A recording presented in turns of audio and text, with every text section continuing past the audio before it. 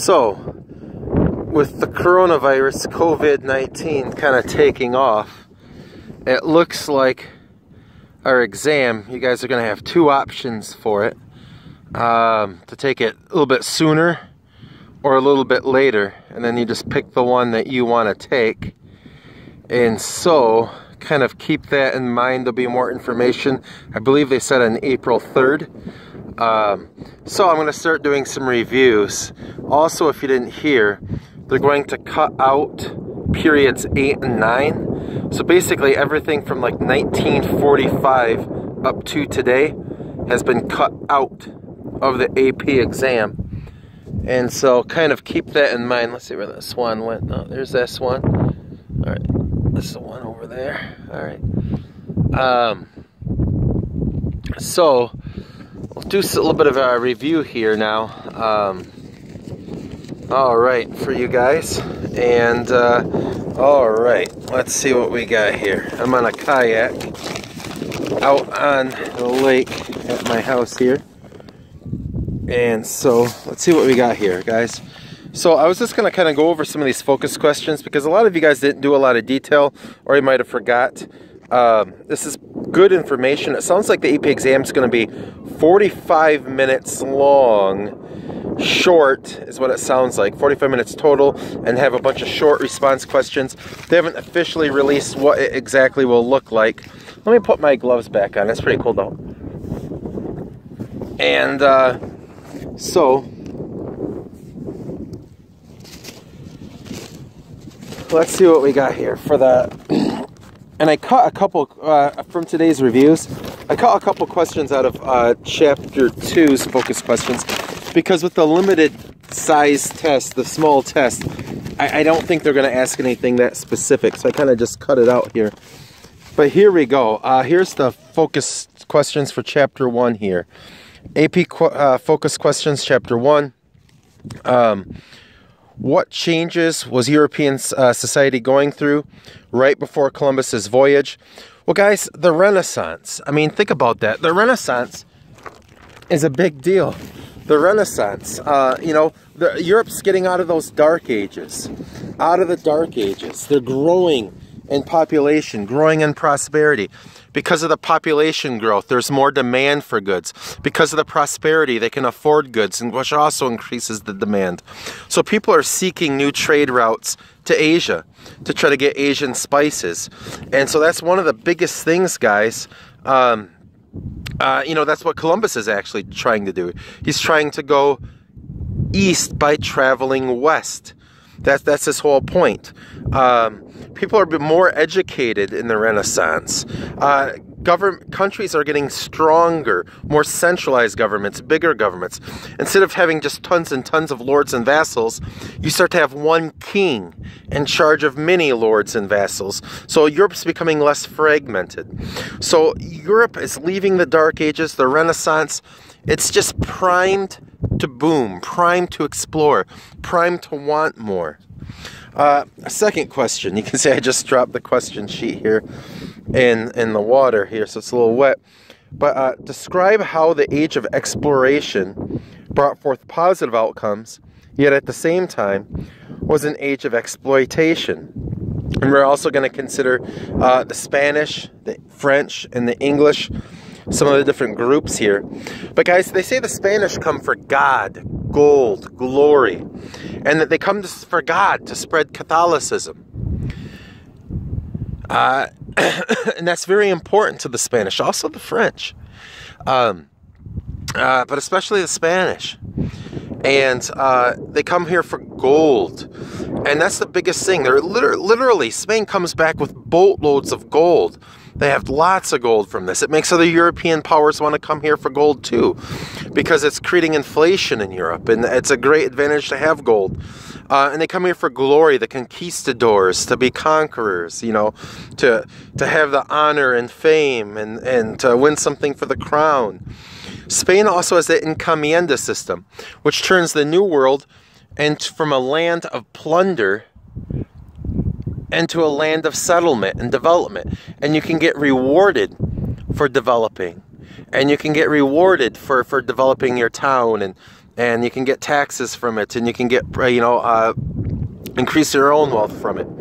And so, guys, uh, the encomienda system is a way to kind of like you get rewarded for helping take this land for Spain, and now I get my own land, and my own land I can profit from. So, uh, encomienda turns it into a system of uh, development uh, as opposed to just the exploitation with the conquistadors. And they're coming here for new products, and, and uh, sugar and tobacco is going to become huge parts of the Spanish um, development of the New World. The French come here uh, with fewer people than the Spanish, and the English come here with the most. But the French come here with, with few women. The Spanish, too, uh, to some extent, uh, at least comparatively to the English. But guys, the uh, basically this guys, uh, the Spanish, uh, you know, they're, they're going to come here with a good amount of people and develop a bit, but the French never have this big population. The French never have this big population, guys. And so because they have less French women, there are more Native American relationships. There's more intermarriage between the French men and the Native American women. The French economy is mostly based around furs, trade, and it benefits both sides. The, the Native Americans think, gee, we're getting a good deal. We can get metal tools that we can't make on our own. We can get glass beads for decorations and religious uh, ceremonies. And we can get a whole bunch of things that we can't make ourselves or can't easily make ourselves in exchange for furs which are plentiful and we don't need that many of. And the French also see it as, hey, we're winning too. Hey, furs are fashionable in Paris, they're expensive in Paris. For something that's cheap to make in Paris, like a like a metal knife, you can get you know tons of uh, expensive furs for.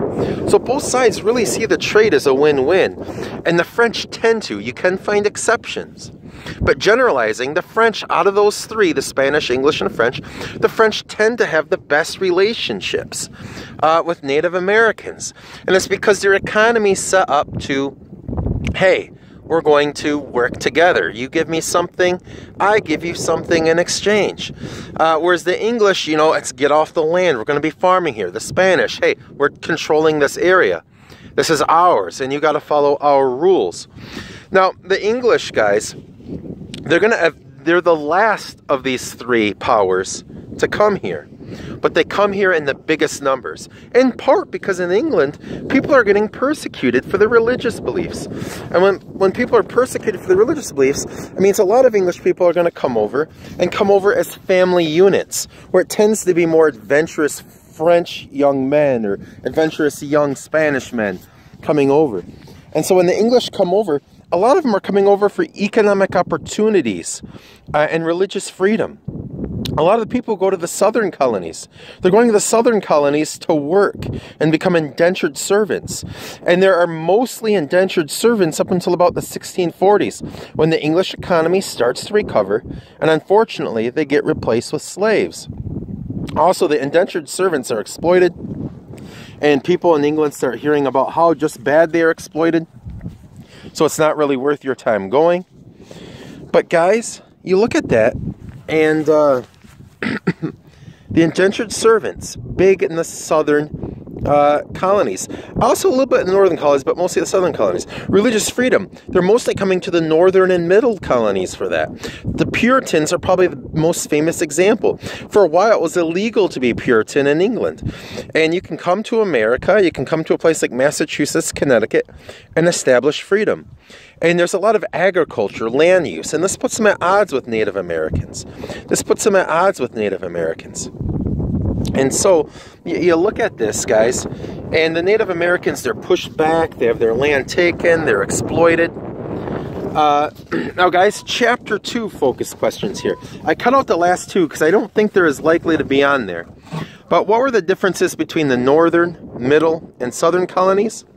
Well, the northern colonies, these are Massachusetts, Connecticut, Rhode Island, New Hampshire, and a lot of these people are coming over as family units. They're not fleeing because they're starving and, and impoverished. They're fleeing because a lot of these people are fleeing because they're religiously persecuted back in England. And so these are Puritans mostly coming over as family units, sometimes whole little towns or whole little congregations. And the Puritans, and so because they're Puritans, the northern colonies tend to have less religious diversity. Although Rhode Island is started as a place for all Christians to have religious freedom in. Um, and the Puritans, they're very community orientated. Uh, they, they have the first public schools in America, Massachusetts and Connecticut. Hey, if you're if a farmer gets hurt and can't harvest his crops, everyone in the town pulls together and, and, and works it together. And so they're very community orientated. Some people describe them as selfless. Other people describe them as selfish because they believe that God has ordained them to take this land from the Native Americans. They don't need to ask, they don't need to pay for it. That God just gave, you know, this vast it's mostly a vast wilderness. Remember, it's it's it's sparsely populated. Therefore, we can just come in and take and we don't need to ask permission. Um, and uh, they have a very diverse economy unlike religiously in the north. You know, they have they have some manufacturing starting, like ship making and rope making. They have less slavery. And some of it is kind of religious based, but it's actually mostly climate based. It's not the best for the sugar. It's not the best for tobacco. The big crops kind of going on back there. It's rockier soil, shorter growing seasons. So slavery never takes off.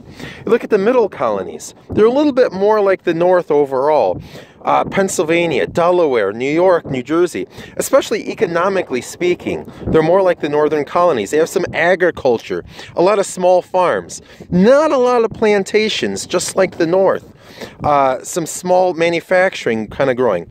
Uh, some big cities, New York, Philadelphia, the two biggest cities in colonial America. Uh, and it's the most religiously diverse for a variety of reasons. Pennsylvania was founded by Quakers.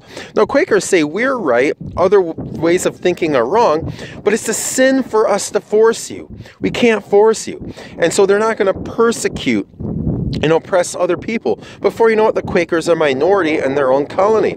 New York starts out as a Dutch colony.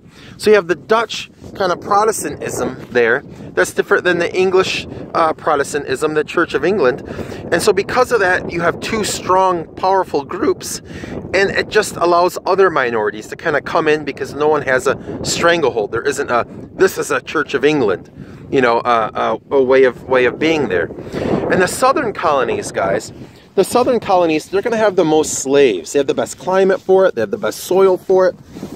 And so the fact of the matter is the southern colonies, these are colonies like Maryland, Virginia, North Carolina, South Carolina, Georgia. I know we have a lot of South Carolina fans, especially in my D block. Um, but guys, uh, the southern colonies tend to have less women it tends to be young men. In fact, at first, a lot of indentured servants, fewer women at first. They actually start advertising. Well, hey, women, there's, after a while, they get going. We have successful middle class farmers. Move here, you can get a man.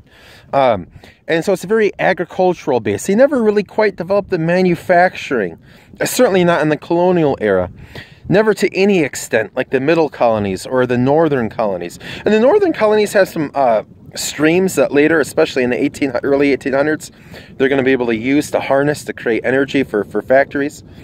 But the southern colonies they're going to rely on slavery. Um, guys, what difficulties did early English colonies face?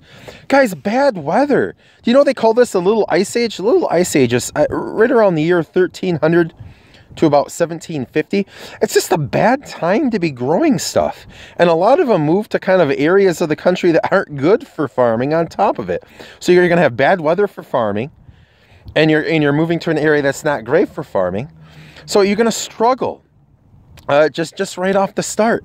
The, the, the other difficulties, uh, well, first of all, let me go back to the farming. If you're not doing a great job farming, you're going to be malnourished. And if you're malnourished, your, your immune system's down.